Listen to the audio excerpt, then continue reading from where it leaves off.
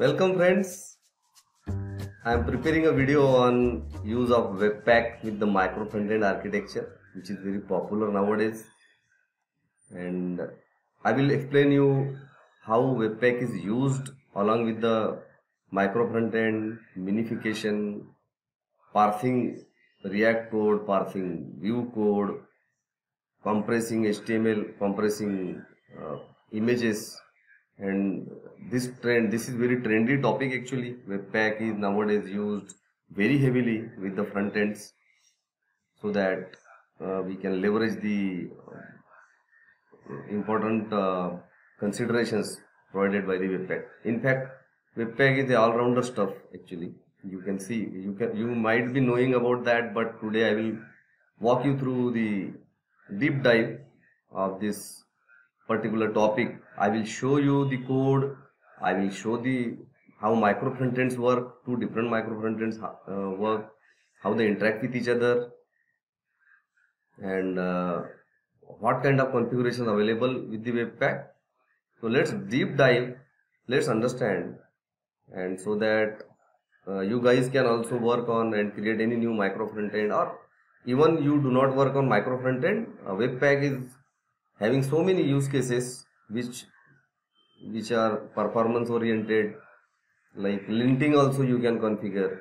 So many things you can do. I will explain everything mostly so that you can understand what role webpack plays in developers life be front end or be a node.js backend or whatever okay? So let's start. I would request you to watch this video completely so that you understand the all the topics. I have done so much of hard work to find out the topics work on it create the ppt prepare the video and showcase it in front of all of you. Thank you very much. Let's move ahead. So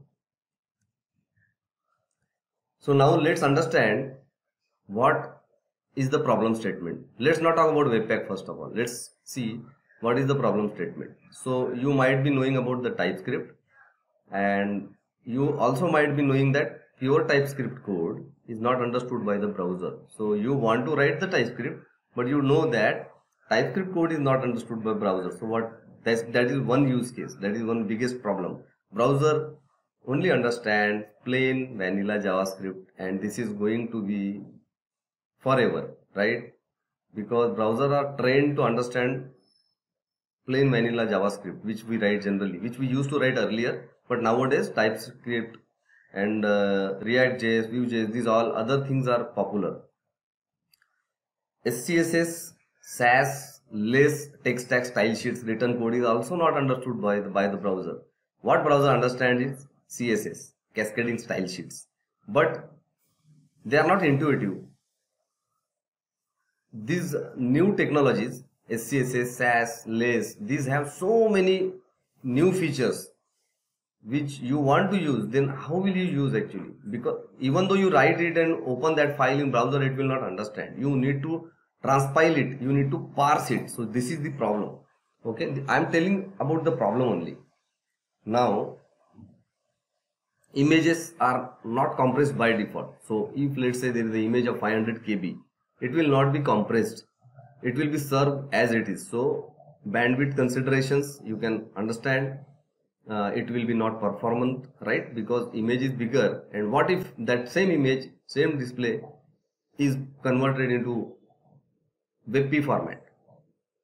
Uh, the different format I mean okay?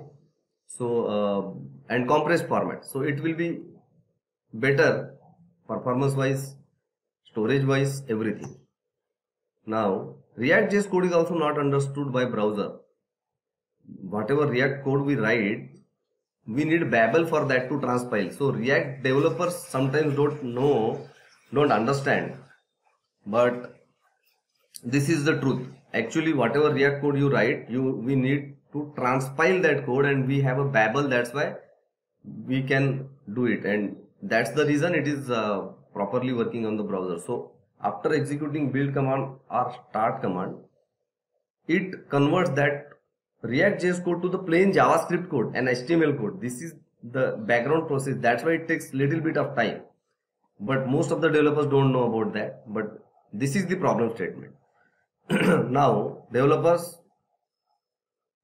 like to use the TypeScript, React.js, SCSS code because of advanced features. There are so many advanced features, single page application things and uh, image compressions and uh, let's say linting. Uh, let's say for example, I want my developers to not uh, put in the buggy code in the Git. This is the very common use case. How will you do that? There are certain things you need to manually execute the ESLint command or TSLint command, TypeScript command. So um, but using the webpack you can achieve that very easily there are some settings. You just need to load the plugins. You just need to load the loaders execute them test them and it will create the bundler for you. So this is the problem statement. Now let's dive into what is the definition of webpack. What is webpack in fact? Webpack is a popular open source module bundler for javascript applications. So I don't agree with completely. It says for JavaScript, but uh, it also works with React. Uh, sorry, images, CSS also, uh, ESLint also it works with. So images are not part of JavaScript. They are independent. Like you can use images in Java, ASP.NET also. Okay. But still, Webpack is a popular open source module bundler. Now, module bundler means what? Module bundler means there are 10 files okay let's say there are 10 javascript files 1.js 2.js 3.js and earlier what we used to do is load all the 10.js files. If we need functionality from all of the javascript files. But nowadays it is not the case. What happens nowadays is we have one uh, setting of webpack. It creates only one file. One javascript file it will give bundle.js or something whatever name you want to give. And it will bundle that file. That is also minified in the minified format. Very compressive very small.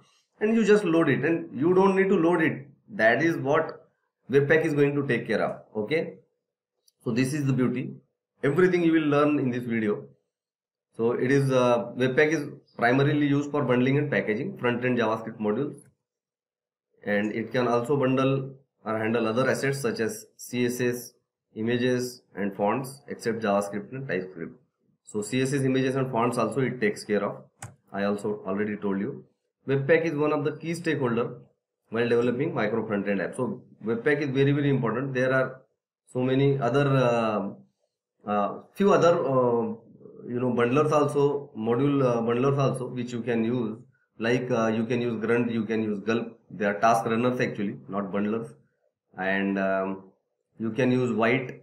You can use some other things also which uh, which are you know somewhat more or less related to the webpack. Works like webpack but this is one of the best techniques i have seen. Um, so before webpack why, what we used to do is we used to write the manual script tags. Like you remember less than script index.js and then something like that. And then uh, we let's say we have 10 webpack files we used to concatenate. Or we used to use the grunt or gulp so that the task runner should do something. We need to write the kind of script to uh, to perform whatever we wanted okay and uh, we also need to handle the depend dependency management uh, what files we need what library we need uh, dynamically runtime whatever okay? And we also used to do the server side rendering. Uh, you all know what is server side rendering right? The files are uh, rendered and keep on the server side so that SEO front or other places we can make use of. Now this is the traditional web app representation wherein there is a browser and let's consider there are four files a.js, b.js, c.js and d.js. So it's a bundle list okay. This is not related to webpack, not grunt, not gulp. I am just talking about the plain representation of the traditional web app before all these new bundlers and task runners. So what uh, was supposed to be done is loads one by one file separately. So all the files uh, had a HTTP request, right? You understand? All the four files will have one um, one each HTTP request. And uh, what will happen after Webpack usage? What Webpack will do is all the four files it will do the packaging. It will create the bundle.js file and it will serve for the browser it will create the bundle and it will serve in the browser so that it will be it will be very very super fast and uh, compressed minified so that performance wise or http request wise it is supported right? You understand all this what i am saying. So i will give you example also. So only one file is prepared using webpack okay? And then uh, the the file which is created is minified. This is very beautiful uh, thing i am telling you let's say the file is of 500 kb so after minification it can come up to 100 kb also. Because all the all the comments and few things are removed from the application from the, the files. So this is how things work after webpack so all the js files png files or jpg files images sas files css files whatever all converted into the four type of assets in this image at least I am showing you four different type of assets. JS, CSS, JPG and PNG. So these are the static assets which uh, generally Webpack runs and create it for you and keep it inside one of the static folder for you to do whatever you wanted to do. Because this is not that it will uh, we, we need to do some things after bundle creation. I will explain you everything don't worry. Uh, because we may need to take care of the uh, ci cd pipelines also which we already take care right? We we have CI/CD pipelines nowadays. And we put the files at some place so that it will be served.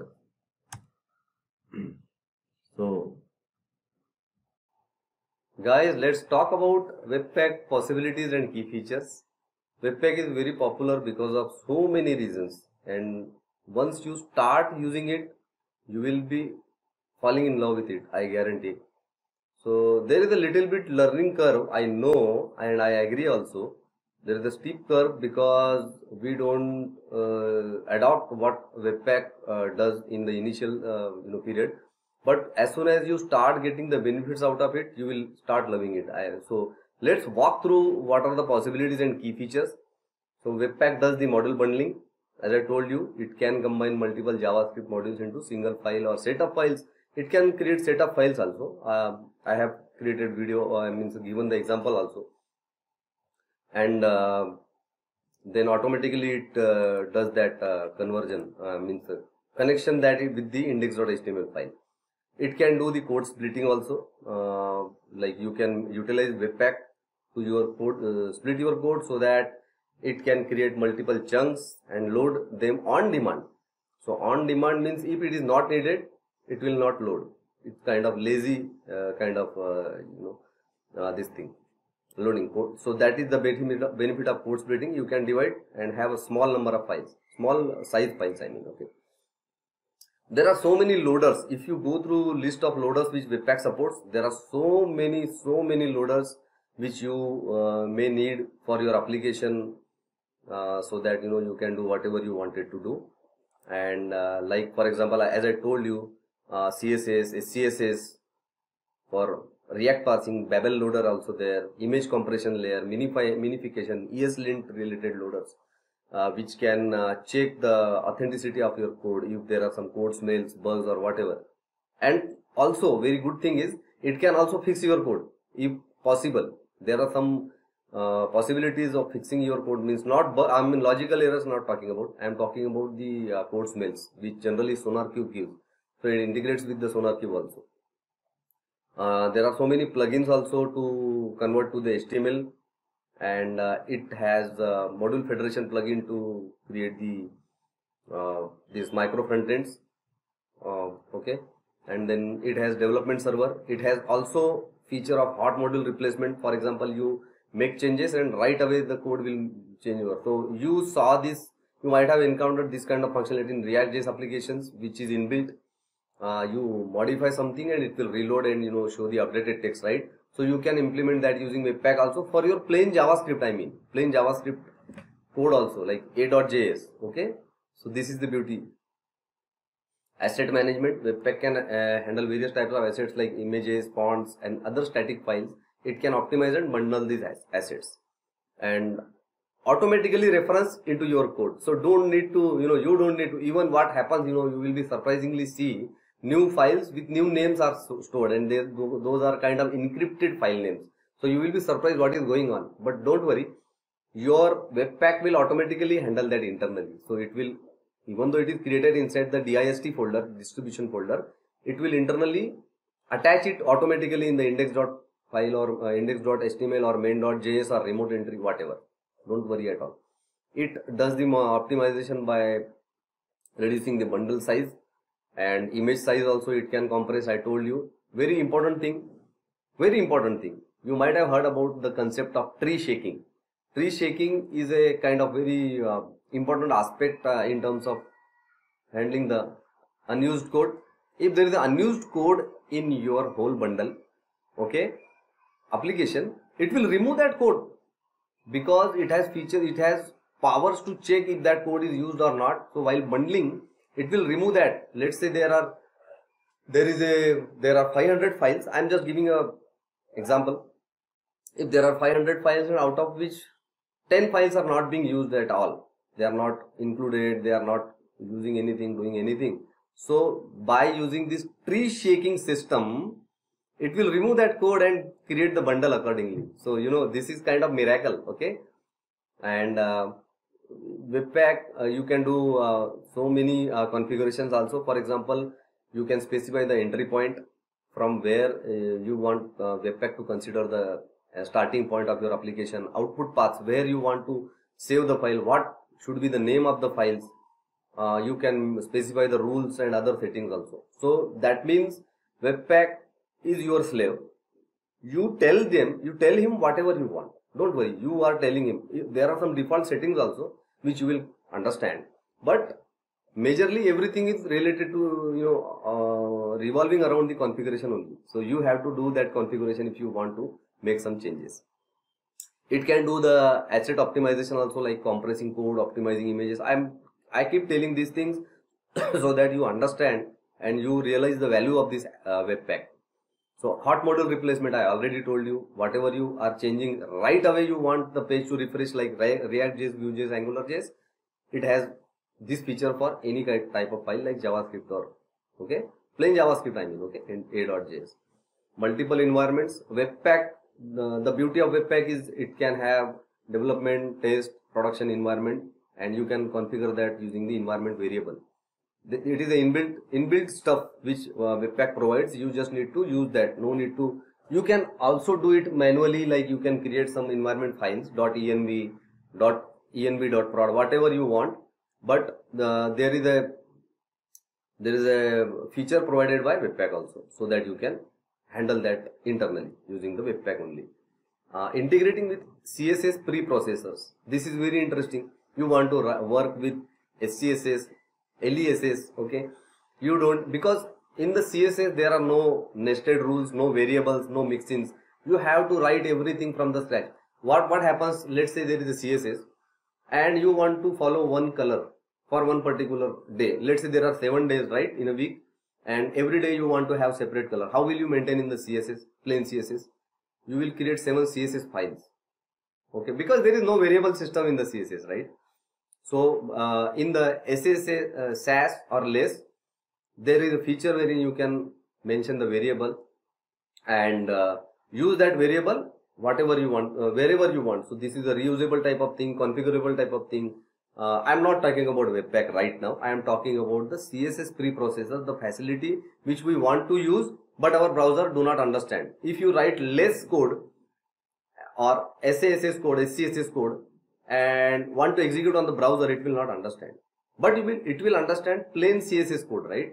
So what Webpack does is, it has some preprocessors, loaders, which converts your less Sass uh, code into plain CSS, workable CSS and that too very optimized way. This is what I wanted to say. I hope you guys understand what I mean here. So they are uh, able to, Webpack is able to integrate with different frameworks also. For example, Webpack, uh, you can create the micro front end using React.js, AngularJS, Vue.js and many more technologies, whatever you know like Next.js and all. So that is the beauty also. So Webpack, uh, you can configure and make sure it works using the module federation plugin.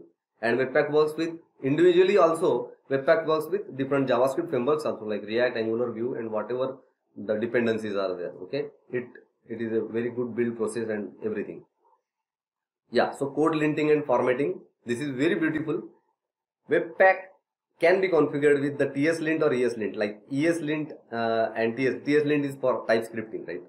Uh, you can follow the uh, you know make sure to enforce the coding standards whatever you want.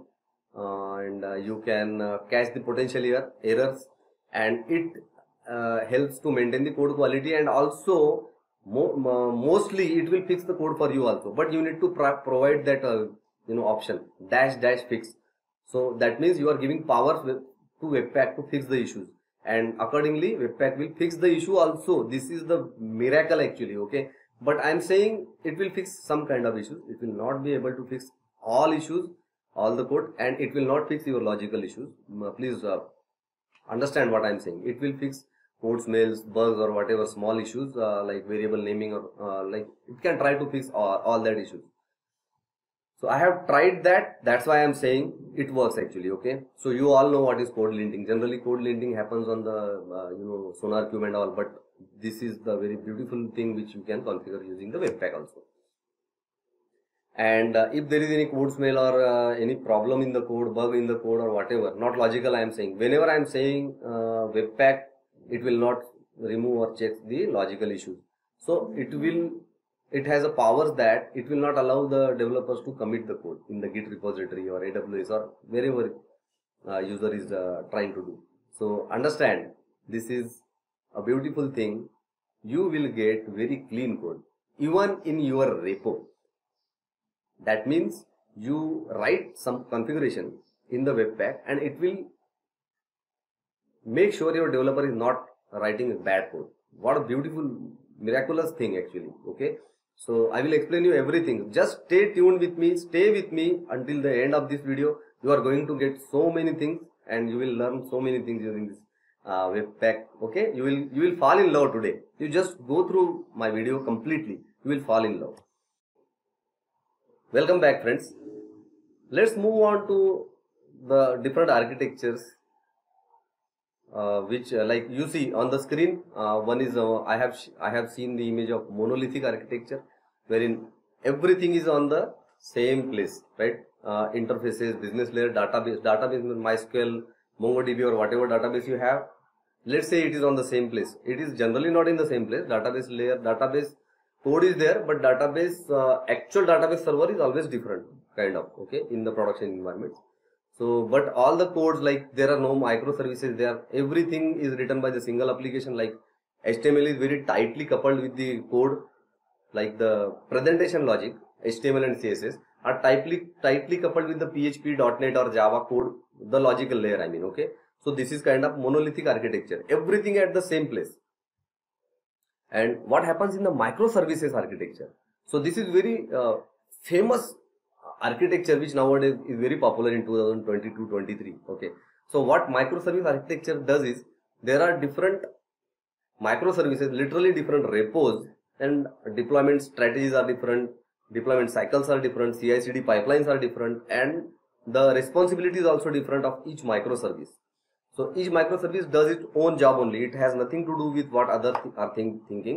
And microservice architecture, when we talk about pure microservice architecture, it is said that one microservice architecture, one microservice repo, that one service will be connecting to one database. And that is responsible for you know uh, doing any kind of CRUD operations on that uh, database.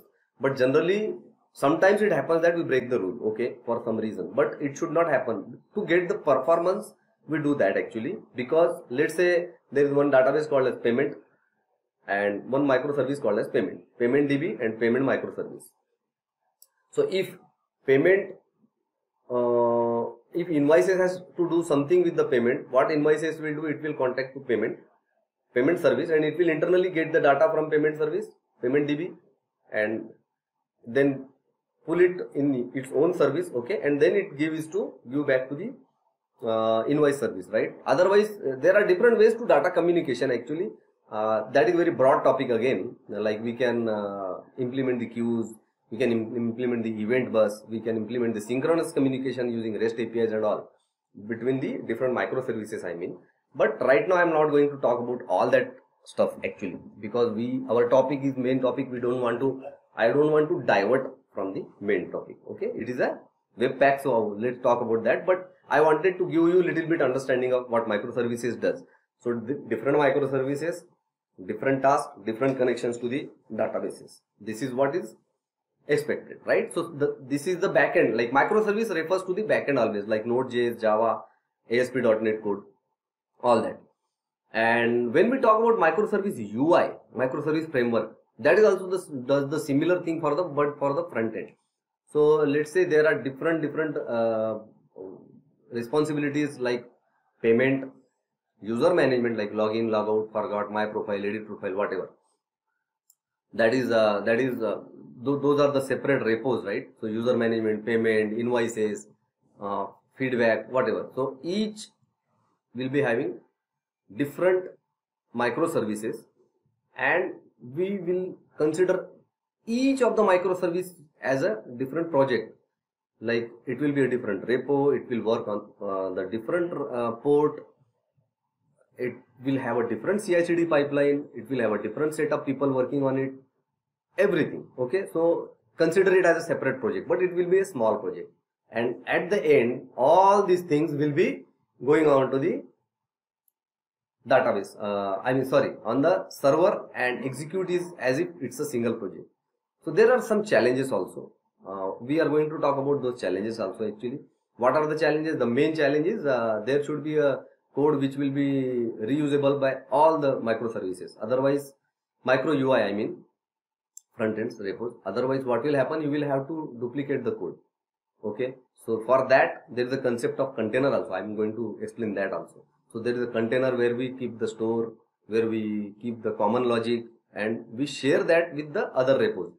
What that mean is container is the one repo which is the whole and soul of that micro front end ui and it is shared with all the repos so that the common reusable functionalities can be used by uh, all the microservices. Otherwise you will have to replicate all the code in this microservice and that microservice every microservices. Okay? So this is what i wanted to explain.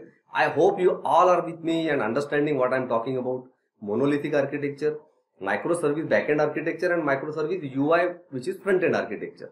So it's very popular nowadays. So that's why i wanted you guys to understand what is the meaning what is all around uh, discussions and implementations are going on in the micro front end. Let's uh, proceed on the further slides. So this is how micro front end representation is. You see on the screen. Uh, I have shown you three different teams. One is team cart, one is team website and one is team payment. So let's consider these all as a different micro front end, different repo, different CI/CD pipelines to move it and uh, different people are working on it and as you see um, on all the uh, micro front ends uh, React.js is used, but what you can do is you can have React in team cart, you can have Vue on uh, team website, and you can have Angular on the uh, team payment. So don't worry about it because Webpack is going to handle everything: parsing, creation, uh, building the JavaScript. Because at the end, what executes is your JavaScript in HTML only. Even though you write the code in React.js, what happens? In the end, Babel loader will going to parse and it will transpile that code into the plain javascript only. That's so that browser can understand. This is the miracle which is going in the backend which we don't know generally in the as a developer right? But this is how it works. So that's the logic behind it.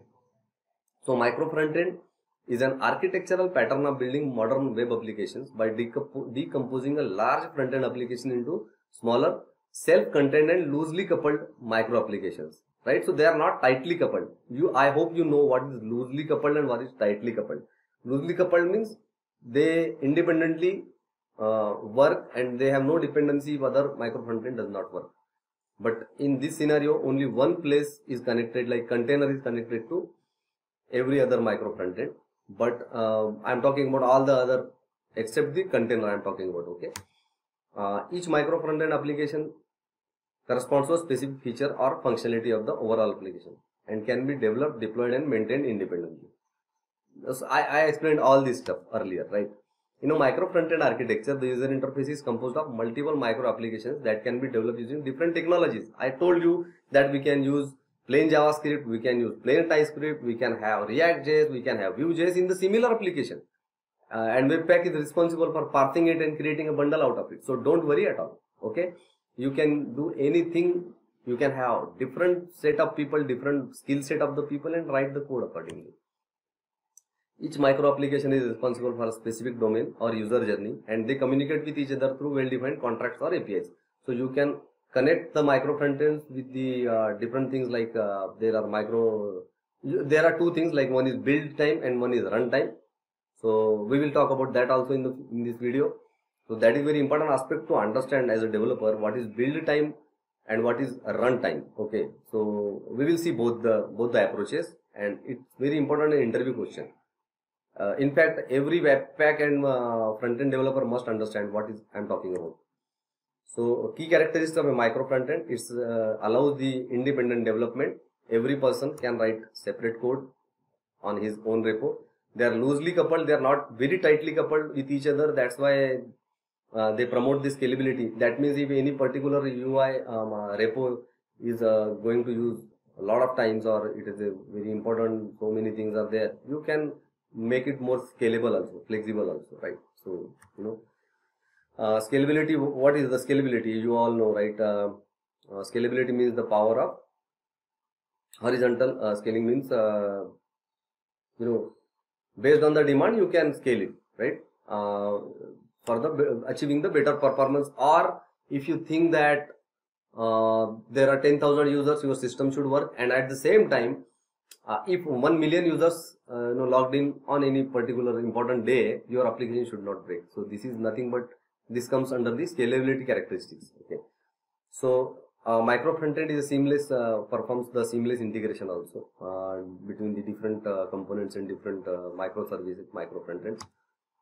And it can have own CI/CD pipeline continuous delivery uh, deployment independent testing release cycles everything but when i say release cycle means you can release payment microservice on one day and cart microservice on another day there is no uh, tightly coupling. Uh, you can also maintain the uh, versions also. So you know that depends on you what uh, what how you are implementing that.